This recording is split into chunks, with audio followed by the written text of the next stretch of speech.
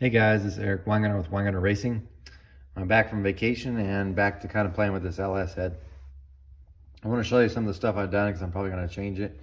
It doesn't look ideal, I'll go ahead and tell you just because, well, I got a wild thought and I was like, I want to try this real quick. And usually by the time I do these, I try to work on this head usually pretty late at night. Um, typically around like 11 o'clock just because I'm up to about 10 o'clock usually I'm working on customer stuff. So the whole day and then in the night just customer stuff. So this just is a back burner deal. Um, it sounds like I, if you look at the videos, looks like I'm working on it all the time, but truthfully not. Just the end of the nights till I get um, too exhausted to be out here anymore. But anyway, point being is um, I worked on this and I'm gonna show you what I did here because it's gonna make a little bit of sense. This is the 55 degree port. If you remember last time I shrunk up this port and I told you I was gonna raise the roof on this 55 degree and that's what I've done. Just to recap for those that haven't watched the other videos, which is fine, I've tried different things as suggested by the internet. It's pretty much the internet. You give an idea, I'll try it on this head. And that's what I've been doing. Um, some of the ideas work, some don't. Excuse me. Some I've also just done things because I wanted to experiment with, like the 50 degree is more me doing stupid stuff and it truly tr proved to be stupid. Um, but anyway, the rest of them pretty much are recommendations from um, the internet. Now, typically when I port the head, I do something a little different. I mean, like, I was gonna make this exactly like, cause several people had asked on the 50 degree if you could just do it the way you do it. And I did, but I really wanted to try something because I have never tried it and I'd rather ruin a head that's never gonna get used and trying it on my own. That's why this one ended up being a turd. Um, I probably should have redid this one with the dimples and just pour it the way it, I normally would do, just see how it compares. Uh, it'll probably get rid of most of the dimples if I do that. But anyway, let's see what's happened this time. We'll focus on this 55 degree. The thing that's been done already so far, just for those that don't know, is the bowl's been made bigger. If you look at the bowl, it's 104%, the throat's 92.1%, so pretty big. It's a 55 degree seat. Typically, you probably wouldn't run this anyway, but this is just experimentation. There's been nothing else done. The short side itself hasn't been touched. It looks like it has, but that's just from where I blended the throat around. I don't blend this area until I do the short side. So even that is not even near close to being perfect. But the short side, for the most part, is untouched. Um, unlike the 50 degree one where it's been mowed down to nothing. So if we look at the port though, I want to tell you what I did. This is the 55 degree port. So this is the way it comes stock and this is what you could tell what I've done. I've raised it up probably about 250 thousandths, um, maybe a little bit more, so a quarter of an inch. Sorry about a quarter of an inch and I rounded it because it's going to end up being an oval. So it's got this shape here. Eventually I'm going to end up filling in the floor and make an oval too. So I'm going to, am going to fill in the floor. I have a feeling that's going to make a big difference and change some things. Um, for sure, as you can tell on the 45 small one, I've already done that. I haven't been to the store yet to get any more epoxy. I just got back from vacation. Otherwise, I'd have that filled in and working better. Anyway, this will get filled in eventually, but for now we're just playing for different things. So what I did is I raised the roof and I didn't raise it all the way. So um, what I mean by that is it's really tall here, but it's sloping down towards, and hopefully you can see it there, it's sloping towards the short side, okay? Alrighty. Um, let me um, stop the camera and I'll set it up so you can get a better view.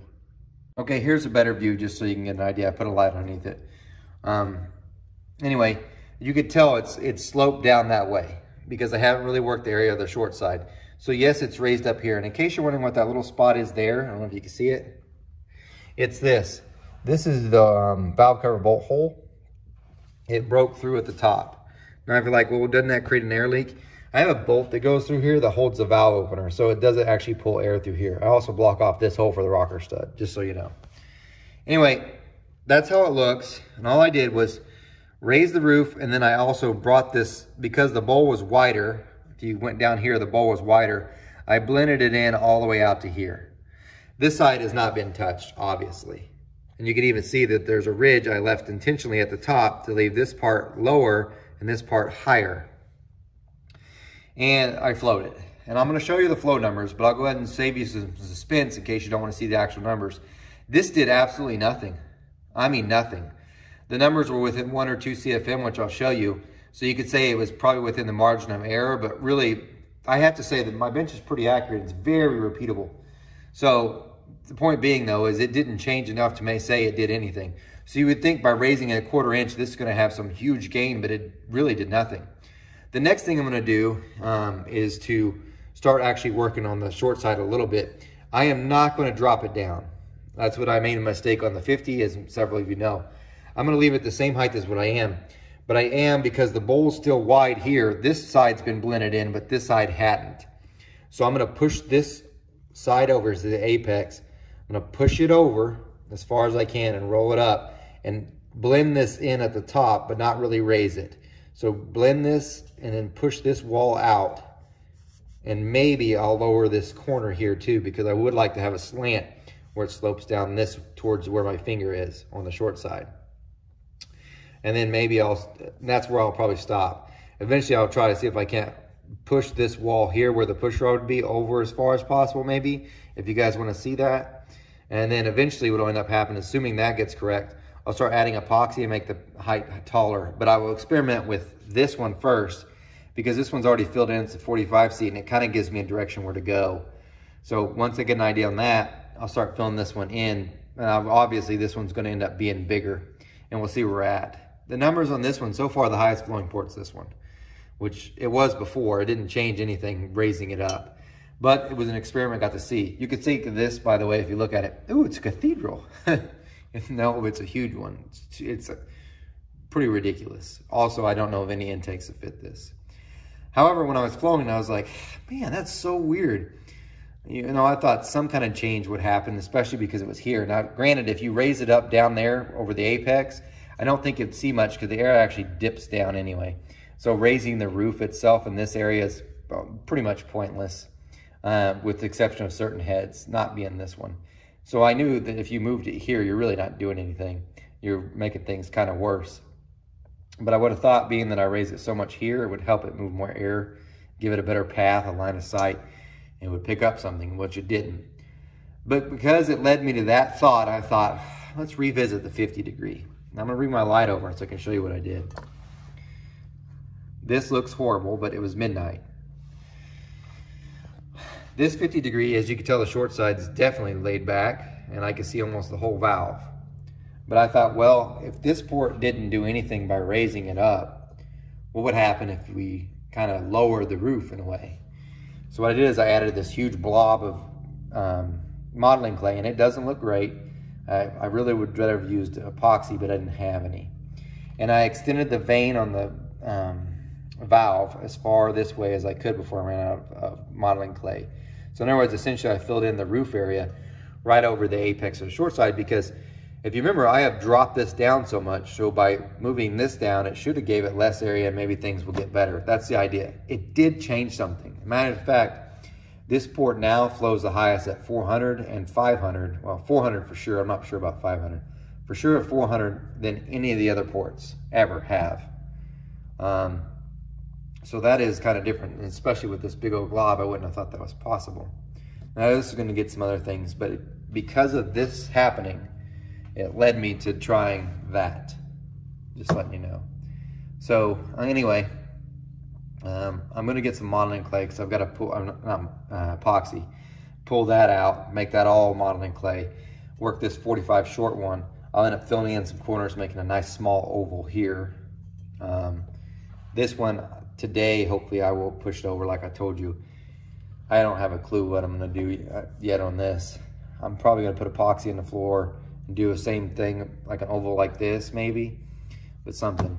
Anyway, I'm open to suggestions of what you would like to see done on the head. Um, eventually what I'm probably gonna end up doing with this one that's all dimpled is I'm just gonna do it normal. So, and just port it and see what it is, whatever it is, it is compared to all the things we've tried. If you notice so far, just to give you an idea what we haven't touched really is I still haven't, besides this 45, I really haven't touched the chamber. So eventually what's gonna end up happening is we're probably gonna run out of ideas on the intake ports, maybe, probably not. And eventually we're gonna have to tackle the elephant in the room, which is the chamber. So I'll probably end up getting an epoxy and filling in areas to make it work better. And we'll see what happens from there. But that's, you know, ways down the, ways down the road. So there's some of that, because this did help a little and also cutting down the guide helped a little. And that's not been done on the 50 or the 55 or any others. Now, here I'll show you that blob of epoxy or not modeling clay I added to the vane. So let me get a liner. You can see it, it's, it's not pretty. This is, I got five minutes. I don't want to wake my wife up when I go to bed tonight. Um, I just put this in real quick. Now I'm going to show you the flow results you can see, but this did have an impact and it looks like crap, and but it did have an impact. If I had um, epoxy, which I'll eventually get, hopefully I can run in the store at some time, and I'll make a much better looking design and reflow it and go from there. But that's time permitting. This gets done pretty late at night, so probably ain't gonna happen tonight. But anyway, I thought I'd show you that. Let me get you the numbers and show you the results and everything else. Okay, so what I've done now, just kind of show you, I didn't think I was gonna get to this, but I'll get to it. I pushed that this wall over like I just said, so you can kind of see. It looks like I dropped the top of the apex of the short side, but not really. What happens is, let me get a pointer. I should probably prepare better for these videos. Uh, when I'm grinding here, it will leave like a little notch here because I'm pushing the wall over. So I'll try to blend it to make it, otherwise you have like a dip here, then it comes up. So I'm just blending it in. I'll move the flashlight back just a bit. There we go. Maybe, maybe not. Anyway, there. So as I'm pushing this wall over, it leaves a little dip from where your burr is. So I'm just blending this. I really didn't take off. It probably did take off some, but maybe 10 thousandths just to get it to where it doesn't have like a weird transition. I still haven't touched the short side and I can tell you it's pretty much straight up and needs to become back from some. And honestly, I think the short side height itself is too short for this port. So having, we'll probably end up moving this and then having epoxy to fill it. But um, you can kind of see what I've done. So move this over and kind of round to the top. And I will point this out. Um, those bulges, let me see if I can, which I don't know if the camera's gonna capture without any light. Yeah, I'll just go over this one. You see that bulge right there? Which I don't know, the lighting's probably not the best. That's because of the spring pocket. I got rid of the, the bulge on the roof just because I was trying to blend this in I wanted it perfect. And what it does is, see right there. See that little blister? It's breaking through. This head's not going to be used. I know some people don't watch all the videos. This is never going to live engine. This would be a pain to fix, by the way, because you'd end up welding all of this, and then you'd have to machine this back to the spring pocket. The guide probably moved. It'd be a pain. But anyway, um, that's getting filled in. So if you're ever hard porting these, don't take out that lump on the top. You'll break through. I don't even know if it helps, but I was like, well, I don't want to leave it. I want this thing to be perfect. Um, at least blend it as best I can to see what's going to happen. Um, ideally, if I was them, I'd say, hey, Flowtek, could you raise up the spring pocket maybe a hundred thousandths, and then you could eliminate that lump in there. Now, granted, you would have to run a taller valve, which may mess up some of your valve train stuff because everything affects something else. But it, I think it would probably help. But anyway, uh, let's try this on the flow bench, see what it does, and go from there. Okay, here are the results. This is the 55 degree seat one, and this is where I raised up the runner. So this was before I raised it up. And, again, ignore the 100. I've told that before, but it's because the valve's being sucked open. But at 200, it's um, it's right where it should be. So from 200 on, it's accurate. So the only difference between this one, which is where we left off before, to this one is it's raised up about a quarter of an inch and it's got a radius at the top. You can tell the numbers really don't change much. So we look at 200, it's slightly better, but it's not enough to make a difference. Exact same at three and pretty close, like a half a CFM difference at four. At five, it's up maybe two CFM, so not really much of a change. Six, it's pretty close to the same. Seven, it's actually down a few CFM, but not a ton. Uh, eight, pretty much the same. Nine, the same, and even one, the same. So raising that whole port up, doing all that, it didn't gain anything. It pretty much left it exactly like it was. So it did kind of prove out the point that raising the runner itself like that isn't the best idea. There's other stuff you got to do that probably would be a better idea. Uh, but because of that, of course, I told you I did the 50 degree and I decided to see what that would do. And I'm going to show you that one. So this is the 50 degree they got uh, port. Um, this is the one where I laid it back too much. This is before I laid it back. This is laying it back, so I've now destroyed it. And this is adding that modeling clay that you saw. And the modeling clay looked horrible, and it would look like it would hurt flow, but let's look at the difference here. Again, knowing one. It's slightly better at two. It's noticeably better at three. And almost nine CFM better at four. So that's a pretty good gain. And then 4 CFM get better at 5. It's slightly lower at 6. It's slightly above at 7. About the same at 8. Uh, 3 CFM worse at 9. And at 1 inch, about 3 CFM difference. So even though, um, for the most part, it's better, even though it looks horrible and it took up space, it actually helped it somewhat. And that was a pretty good strong number there. This at the time was the highest number I'd had at 400 lift. But I'm about to show you something that's going to shock you. What you just saw of my videos is I moved over that one part of the port on the 55 degree seat. This one's the game changer. And I'm not done with it, by the way, but you'll see. It's pretty amazing. Da, da, da, da, bam.